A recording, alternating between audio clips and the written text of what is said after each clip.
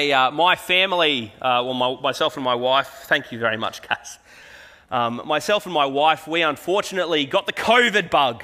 So today is my first day in being here in church for about five, uh, for about five well, I've had five Sundays off, so that's quite a while for, uh, for me. My wife, unfortunately, is still in lockdown. But one of the things I've really appreciated over this past week as we've had COVID is uh, from many of you, there's been some really encouraging messages just asking if we wanted to uh, have anything delivered to our house, if there was anything that, uh, that we needed. Um, praise God, one of the things that is uh, fairly common nowadays is to have. Um, is to have food delivered. And this is something that me and my wife have been making use of uh, throughout uh, for, a little while now. Um, for a little while, we've been getting something uh, delivered to our house called Hello Fresh. Who here knows what Hello Fresh is? Does anyone have any idea? Some people are Hello Fresh, some people, other people are not Hello Fresh people. It just works for some people, doesn't work for others. Now, if you don't know what Hello Fresh is, uh, what it is, is you, um, at the beginning of a week, you might choose the, the meals that you want to have delivered to your house for a certain week, um, and they deliver. Uh, the, the ingredients for the meals and how you need to put them together. Um, you still have to cook the meals yourself and put it all together, but it's really just saving a little bit of uh, brain power more than anything. Uh, and this is something that my wife and I, as I said, have been making use of for, uh, for a little while. And the reason that we have uh, become Hello Fresh people is primarily my fault. Now, when my wife does cooking, she does a great job. She is a wonderful cook. I, on the other hand, am a boring person.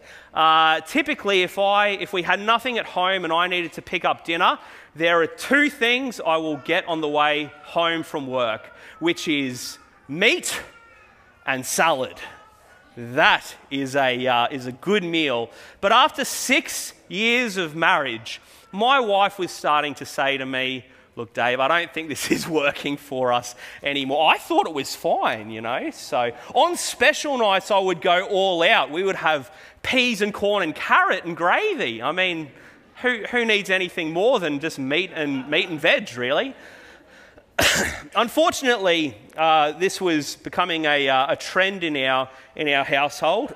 um, and so my wife decided the best thing for us to do is to get this thing called HelloFresh, where we would just choose the meals that we wanted at the beginning of the week. We wouldn't have to think about it too much, and then we would get the ingredients delivered to our, to our door. And then one of the things that I discovered since getting HelloFresh is that there are more ingredients rather than just meat and salad. In particular, one of the meals that we got recently was a pear and bacon fettuccine. That sounds weird, doesn't it? Like, I looked at that and I saw pear and bacon fettuccine. The problem I found with looking at a pear and bacon fettuccine was I don't really count bacon as a real meat, you know, like that's just a side that you have to, uh, to your main thing of meat. And I was like, what's this thing that I have right here? How does pear and bacon go together? And yet, when we put it all together, I cooked this one, by the way, and it mwah, turned out very good. now, when we put all of this stuff together, it actually turned out to be quite delicious. Now, who would have thought that these things would have gone to, I would have never thought this a few years ago before we, uh, before we got into this.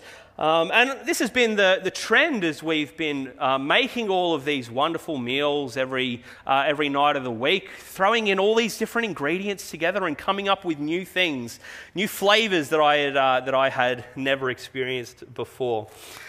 This morning, what we're going to be doing we are, as we, uh, we are beginning a new series where we're going to be looking at the flavour of our church. What are the ingredients that make Bracken Ridge Baptist Church Bracken Ridge Baptist Church? What does it taste like to be a part of our church? What does it feel like when people come into this place and, uh, and experience community here. And this flavour, that's a word that we'll use uh, probably a little bit throughout this, throughout this series, this flavour is called our values. Parts of who we are that are not necessarily unique to us. So, none of these values that we're going to be looking at are unique to us um, uh, as a church. But when you put them all together, it creates something unlike any other group of people or any other church that you come into contact with. Our values, um, these are things that many of you who have been around for a while probably won't even recognize or see. They will probably be things that are normal for you if you've been here uh, for a little while, um, and you won't really, uh, you, you won't recognize them. Um, before getting COVID this past week, I, um, I was on holidays for about three and a half weeks. And one of the things I, I often do when I'm on holidays is, uh, is I go and visit um, other churches. And the reason I do this is just to, to be able to sit under the Word of God and just receive things for, uh, for, a, couple of, for a couple of weeks. Um, and the churches I, I visited, Many things that they do would be similar to, to what we do here.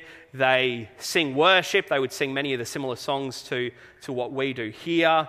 Um, they would share from God's word, he heard some, some wonderful messages. They would worship again. We would hear about the things happening in the life of the church.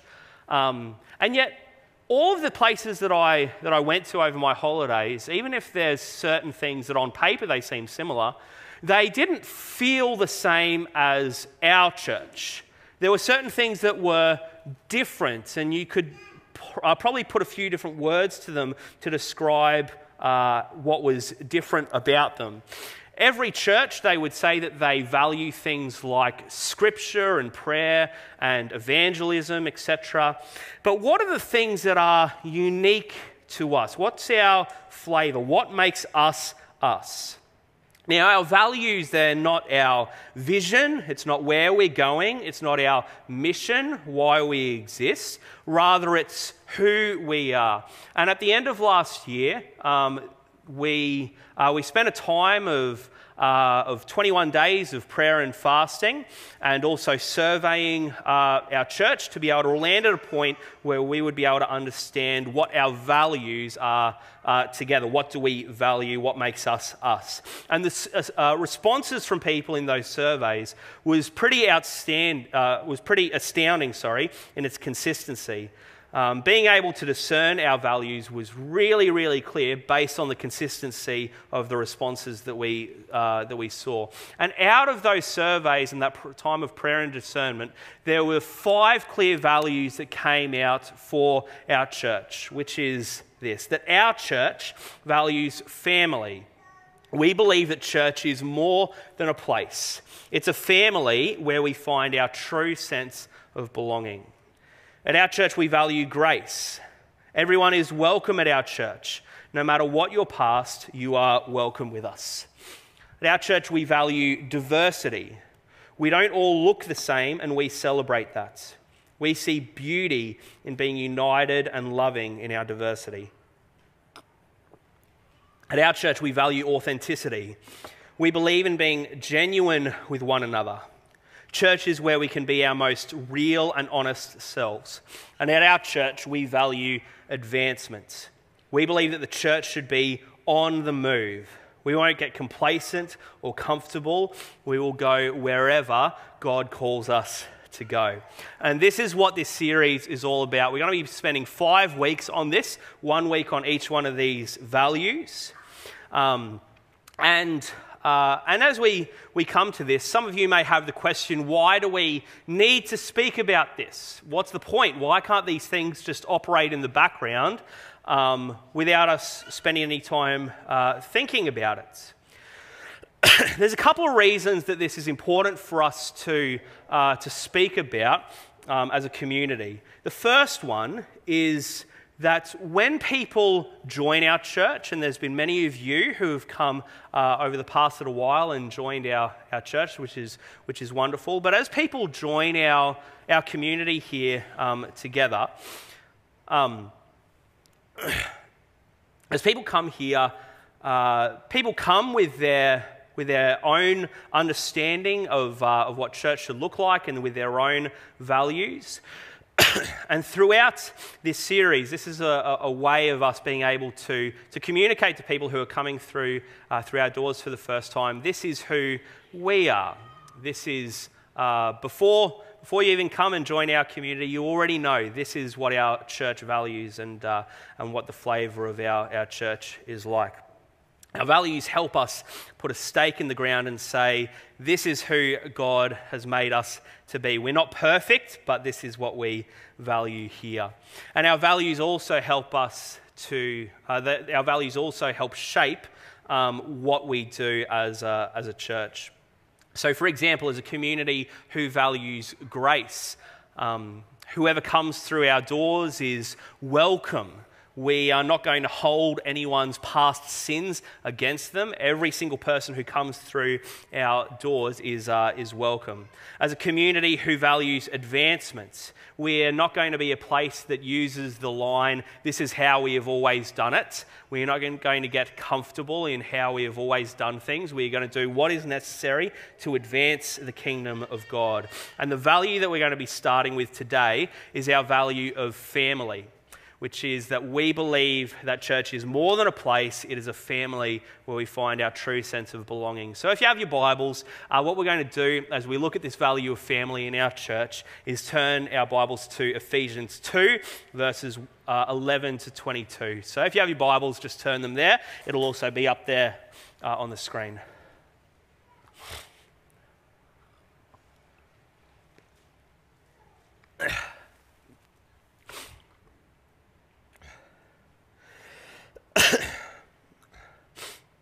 And it says, Therefore, remember that formerly you who were Gentiles by birth and called uncircumcised by those who call themselves a circumcision, which is done in the body by human hands.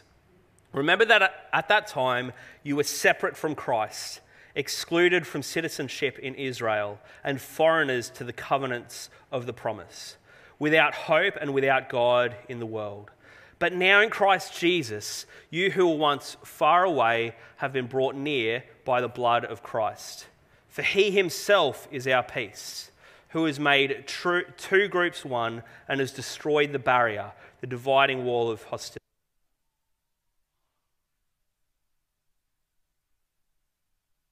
Side in his flesh the law with its commands and regulations his purpose was to create in himself one new humanity out of the two, thus making peace, and in one body to reconcile both of them to God through the cross, by which he put to death their hostility. He came and preached peace to you who were far away and peace to those who were near. For through him we both have access to the Father by one Spirit. Consequently, and this is a really important verse for us this morning, consequently, you are no longer foreigners and strangers, but fellow citizens with God's people and also members of his household, built on the foundation of the apostles and prophets, with Christ Jesus himself as the chief cornerstone. In him, the whole building is joined together and rises to become a holy temple in the Lord. And in him, you too are being built together to become a dwelling in which God lives by his Spirit. A few weeks ago, when we were going through our last series, we just went through a series called Seven Words to the Church Today, where we were looking at the first three chapters of the book of Revelation. And the first church that is discussed throughout those uh, those three chapters is the church in Ephesus, which is who this letter is being written to from Paul. And we spoke in great detail um, about the fact that the church in Ephesus began really strong. They were doing wonderful things for the kingdom of God. And yet, over time, things began to change a little bit. Things didn't stay where they did right at the start. Now, even though this book of Ephesians is a book of encouragement for the church in Ephesus, this is a point where Paul is pointing out some of the things that aren't going as well in the church anymore. And one of the things that he's addressing throughout this book is the theme of disunity within the church in Ephesus, particularly uh, disunity that had come about between uh, Gentile believers and Jewish believers. Both Gentile believers and Jewish believers were now bringing cultural assumptions to the table, and because of their cultural assumptions, there was uh, arguments and infighting that had begun within the church in, uh, in Ephesus. And the primary way that Paul decides that he is going to call this out um, and, uh, and remind them of, uh, of their of, of who they are is speaking of their identity in Christ. Paul hammers on this point all throughout the book of, uh, of Ephesians, telling them how their identity is changed now that they are in Christ. We see this really clearly in what we have just read from verses 11 to 13. Um, Paul speaks specifically to the Gentiles. This is written primarily to the Gentile believers in the church in Ephesus um, by letting them know that they are no longer separate from God, but they have been brought near because what uh, because of, of, what Christ has done, because of the life, death, and resurrection of Jesus, now Gentile believers have been brought near to God. The whole language of verses 11 to 13 is that they have been brought into something that they were not a part of before. and then he goes on. Paul goes on in, uh, in verses 14 and then speaks about how they should. Uh, speak to one another and be with one another because they have been brought into, uh, into something new. So in verse 14, um, what Paul begins to speak about is, uh, is peace. Throughout verse 14 and the following verses, this, um, this theme of peace comes through pretty strongly. Um, verse 14 For he himself is our peace, who has made the two groups so, Jewish believers and Gentile believers, he's made the two groups one and has destroyed the barrier, the dividing wall of hostility. There is no longer a wall that uh, needs to be between Jewish and Gentile believers. Now we are one. Now there should be peace amongst believers. There shouldn't be infighting and arguing that happens. Quick side note before we um, look at the following verses from verses 14 to 18. This is one thing that I think um, we should just take a step back from and think about in our modern context. Because for me, when I look at verses like this and the amount of times that unity is spoken about throughout the New Testament, um, this is something that is central to the heart of the apostles and central to the heart of Jesus that God's church would be a united people. Often throughout the worldwide church today, I think it can be fairly common for the worldwide church to be known more by what we are against rather than what or who we are for we can get lost in disagreements with one another and somehow think that we are defending God if we hurl abuse at one another. These divisions, I've seen them happen, and I think uh, in one sense they could be even getting worse. These divisions can happen because of denominational differences, political differences, or having differences simply through association. But what we see here in verse 14 and the following verses is that the intention of what Christ has done through his life, death, and resurrection, bringing people to himself, is that they, these people who he brings to himself, might have peace with one another. In verse 14, this, this, uh, this theme of peace is, is spoken about uh, from then to the following verses. Verse 14 destroy barriers so that you might have peace. Verse 15 set aside secondary issues to have peace. Verse 16 look to the cross to have peace. Verse 17 proclaim peace. Verse 18 through the Spirit receive peace. Having peace with one another in the church is an important issue both to Jesus and to Paul. Now, are differences necessary and allowable within the church? Of course. Should we discuss these differences? Of course we can. Is there a line when people are followers of Jesus and others aren't? Of course, there is. But for those who are followers of Jesus, we have been called to peace with one another as we look to Jesus together. From that point, from speaking about the Gentiles being brought uh, being brought near because of Jesus. And then from verses 14 to 17, speaking about peace with one another as we look to Jesus. Then from verse 19, um, Paul hits his stride. He really helps us understand the point of his argument uh, and, and tells us to a new level what the church is supposed to, to be. Because in verses 19 to 22, the language that Paul uses here is unlike anything else that we have seen in Scripture. In other points in Scripture, the, the church is called the body of Christ, which is speaking to the gifts of the church. Another point, another, another point where uh, the church is called the bride of Christ, speaking to the church's relationship with Christ. But here, he calls us a family, a household, because of Jesus. This is not um, Paul referencing our, uh, who we are and our identity with Jesus, although he has already pointed to that in previous verses. By speaking about us as a household, as a family, he's speaking to our relationships with one another. In verse 19, you are no longer foreigners and strangers but you, and we can hear this for us this morning as well, you are fellow citizens with God's people and you are members of his household. We, today, 2,000 years later, we have been invited into a family.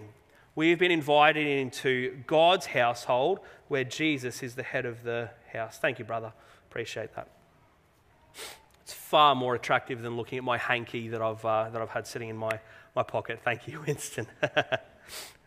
Paul's way of, um, of telling the Ephesians to get over their arguments with one another is by telling them that their new identity in Christ means that they are part of the same household. They are now a family. Just go to the next slide. Thank you, Lynn. There is some great stuff in following verses in, uh, in verses 20 to 22. It speaks about Jesus being the cornerstone, very well known passage. Um, this family is now being built on, on Scripture. Um, we see later as well in, verse, in the final verse that we rise together by the Spirit of God. So, in the following verses from verse 20 to 22, there is great content there. Um, but we are not going to focus on that at the moment because there is something important here for us today, I think, in verse 19 you are no longer foreigners and strangers, but you are fellow citizens with God's people and also members or of his household. Or, in our language, how we are saying it today, we believe that church is more than a place, it is a family where we find our true sense of belonging. There are no strangers or outcasts in our church, only family. Why? Because Jesus in his infinite love for us, poured out his blood on the cross and three days later rose again so that we would be brought into his family where we can have relationship with him and have relationship with others. When I use this word of, of family or being invited into a, into a household, as the, is the language that Paul uses here, um, many of you will have different um, different thoughts about what this looks like. Some of you may have had great families, some of you may have had very difficult families. Most of us have a, uh, have a blend of the, uh, of the two. Um, and, and, uh, and one of the things that I think we can um, take away from, uh, from just understanding this idea of family that Paul speaks about here is um, is that although we get to choose which church we, we go to, um, we don't get to choose who might join us and, uh, and be a part of our family. In the same way, we don't get to choose which family we are a part of. Um, now, families can be uh, pretty, pretty messy. Um, Uh, a few weeks ago, or a couple of months ago now, my brother came and, and shared from, uh, from God's word here and, uh, and was speaking about the work that he is doing overseas. Um, and I was really encouraged by, by that. Many of you came to me afterwards and said, Oh, your brother seems really great, really godly guy. Um, I don't think so as much as, uh, as some of you do. Um, for me, he's just Chris, my brother, who tortured me as a, uh, as a child. Don't worry, it wasn't really that bad. but I'm not going to tell you one example of what our fa- of the messiness of our family. I'm not going to tell you two examples. I'm going to tell you five examples this morning of, uh, of my experiences in a, uh, in a messy family. First one Remember my brother who came here, shared faithfully from God's word, and uh, just think about him as you, uh, as you hear these things. First one, when, my, when I was about three years old, my brother thought it would be a, a great idea to train me for the Olympics. And what he did is he wrapped a rope around me and he ran me around the backyard to train me for the Olympics so that I would be a, uh, a fit little three year old for the Junior Olympics. Another example of what my brother did to me once.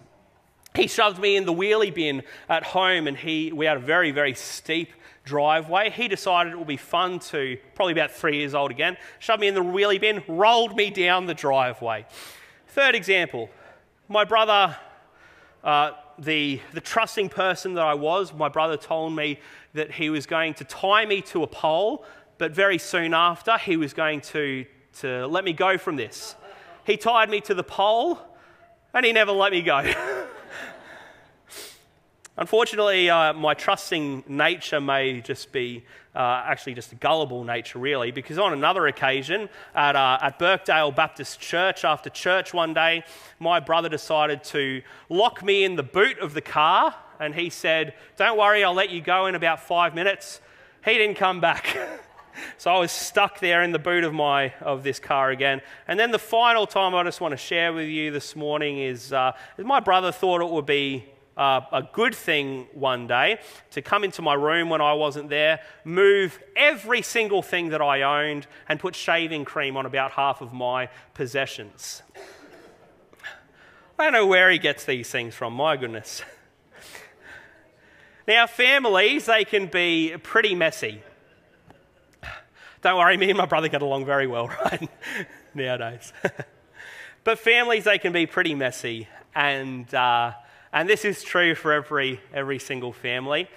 Um, and sometimes our family, our church family, can be a little bit messy as well. We're not always going to be perfect to or with one another. We're not always going to get it right with one another.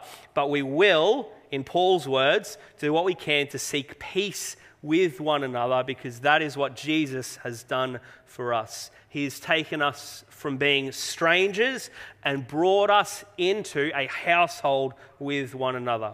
We believe that church is more than a place, it is a family where we find our true sense of belonging. And I have seen this value. I've seen family lived out in so many different ways at this church, throughout this community here. I love that this is something that you value here at our, at our church. I've seen many of you invest into other people like they are your own sons or daughters or your own brothers or sisters.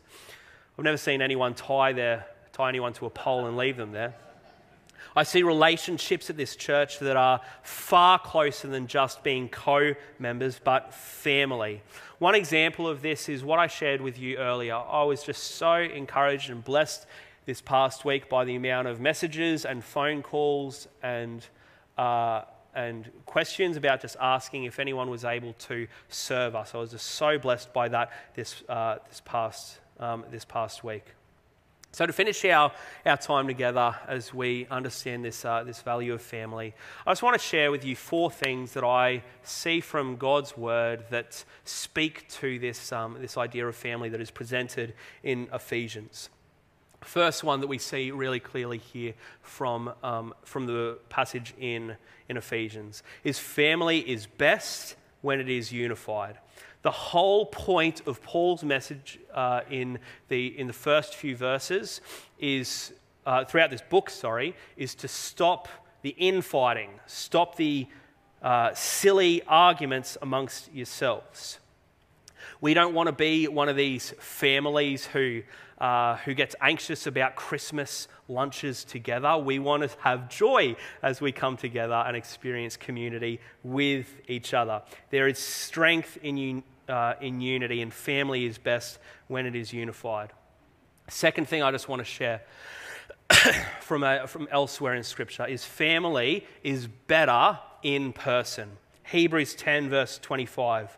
Do not give up meeting together, as some of you are in the habit of doing, but encourage one another, and all the more as you see the day approaching. Now, I praise God for things like church online. I praise God that we have um, different ways that we can connect with people who aren't able to be here in person. I just want to let you know if you aren't comfortable being here in person, please feel free to join with us online. Um, but I genuinely believe that community and family is done better when we are able to gather in person rather than gathering online. Um, online is a useful thing for us, and we are going to continue having online church available. but I genuinely believe that family is done better in person. My brother and sister live a, uh, a fair distance away from, uh, from, um, from us here in Brisbane, and although catching up with them on Zoom is fantastic, it doesn't compare with having a coffee or having dinner with them in person. And I genuinely believe that family as a church is better in person as well. Family is best when everyone is involved. Family is best when everyone is involved. If you have come here recently and have joined our, uh, our church family here, and maybe you haven't really felt a part of things yet, maybe you haven't really felt like you've been involved or included in, in certain things, um, firstly, I just want to say sorry for that if that's been the, the case for you. Um, but secondly, I just encourage you as well to, to maybe take a step and think and pray about what you can do to be a part of our family here. And the fourth application for our time this morning um, is that family is best when we welcome others home. If it's your first time today or you've only been coming for a, for a few weeks, um, what I just want to say to you is welcome home. Welcome to our family. We want to embrace you and love you with grace uh, and open arms however we can. Um, and I just think it would be great right now if, church, if we can just. Um, can we just acknowledge and welcome anyone who is here for the first time to our family? Can we just welcome them, please?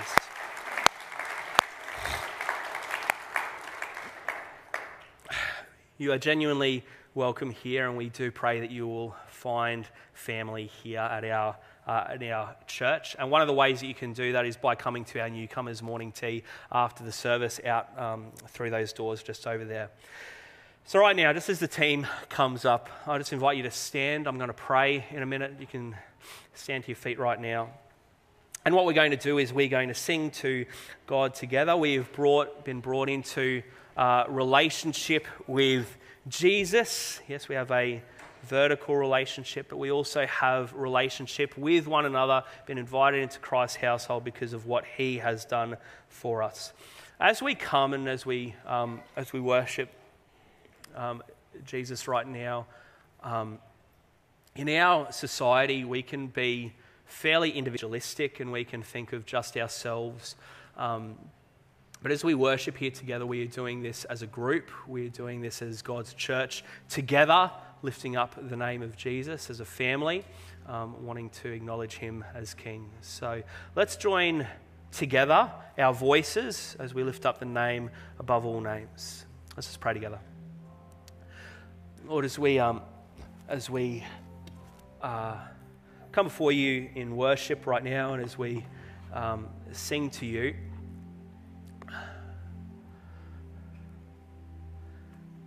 Lord, help us to be thoughtful and aware of the, of the people around us that you've given us. Give us real joy in our family here.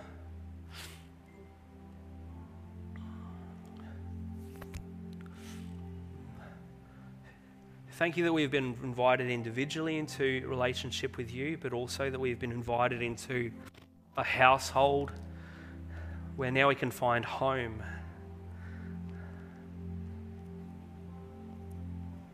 And Lord, I just really want to pray for, uh, for anyone this morning who may have had a bad experience of what family means. They may have not understood what that, um, what that should have looked like. And Lord, I pray that this will be a family where people will feel safe, will feel blessed, will feel encouraged, and that we will be a community that genuinely does life together. Lord, I just really want to thank you for the way that you work in, uh, in our community here in this, uh, in this place, for the way that you've been working for, for many, many years, and help us to um, to both experience family together, but also welcome others into, into this group. We want to be people who have uh, open arms to welcome people into your family. it is your family, King Jesus. We, we acknowledge that, that you are the head of this household. You are the head and the king over all of us. And so we acknowledge you as that in Jesus' name. Amen.